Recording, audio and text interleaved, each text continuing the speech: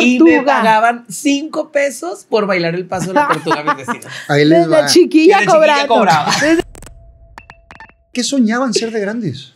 Mm, Ay, yo sí soy el niño guajiro pequeño. También. De que querían ser artistas. Yo quería ser Yo agarraba, había una lechería por mi casa, en la esquina, y luego yo juntaba las cajas y con papel lustrino y así les hacía ojos, bocas. Según yo hacía de que era pulga traviesa y así, y luego ponía el disco, el cassette de las muñequitas y lo jugaba así de que yo, guay, hacía. Y ahí Qué tenía mis, así, es tenía este. mis vecinitos de que ahora tú te pones este, tú te pones este, y hacíamos todos los bailables. Muy de lo por eso último. conectamos. ¡Claro! Hasta ahorita, hasta ahorita estoy sabiendo eso. Yo agarraba las almohadas de mi mamá, del- o sea, las de la cama, y pues ya ves que les ponen como una sábana. Entonces yo me las ponía pensando que era una botarga y yo jugaba a escondidas. Y Ok. por cierto, mi, una de mis primeras inspiraciones era Faye. Yo tenía una grabadora que mi mamá me había regalado Con de una tienda. Haz- Haz de cuenta. Con compact. Este, pero era de una tienda departamental Ujú. que creo que no, no sí existe todavía. Una ¿Cuál? tienda. Bueno, una tienda. Una tienda amarilla con un, con un rayito. y Y tenía esa grabadora, este, y ahí ponía los cassettes de, de Faye. Ujú. Me inspiraba mucho en ella. Y de Alicia Villarreal. Ay, ¿Y sabes, cuál, y sabes cuál otro cassette tenía? Que también yo creo que lo has de conocer. Y de hecho fue compañero mío en TV Nuevo León, de Alberto Benita. Claro. El paso a la tortuga. Y me pagaban cinco pesos por bailar el paso de la tortuga a mis vecinos. Ahí les Desde va. chiquilla Desde chiquilla cobrando. cobraba. Desde chiquilla facturando. Factura. Yo los domingos me iba, me iba de fiesta cuando estaba chavillo. Que digo, soy bastante más grande que, que ustedes. Pero me iba de fiesta, me iba al Far West.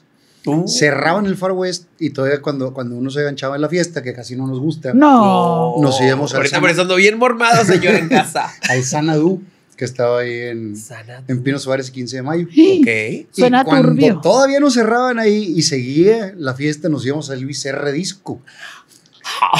Ay, sí, soy yo. Por eso nos caemos bien. Y en el Luis R, este, era cuando estaba de moda el paso de la tortuga. Y- ¿Eh? Y, Luis R, que estaba en el micrófono y decía, a los que bailen el paso de la tortuga, el que mejor lo baile, le voy a regalar un six. Y ahí me tenías bailando el paso de Todos bailando. Icónico. cuatro, claro. Por aquí voy a tener el, el- el regalo que me trajo Alberto ahorita. Ah, ya vino. Que sí vino Alberto, que, que lo conozco hace muchos años, porque él se juntaba a tomar café con mis papás, con mi mamá sobre todo. Y, y él dice que somos casi de la edad. Y le digo, no mames, te juntabas con mis papás cuando, Pues yo- sí, ¿cómo cuando va a ser de la niño, cabrón". Ah, Que no abuse, que no abuse. Que no Pero bueno, sí dice Alberto. Que no abuse del nombre. Sin modo. Ahora, ya quisiéramos llegar a su edad y vernos como se ve. No, yo no, la verdad, yo no me quisiera ver como él. La verdad, prefiero estar ya tirada y encapsulada Que o algo robando oxígeno. que estar con esa cara que te decía. Saludos, Alberto. Un saludo, Albertito. Entonces te, te ponías también a hablar con, con las de Sí, sí, sí, me acuerdo mucho que tenía una vecina que era muy amiga de mi mamá.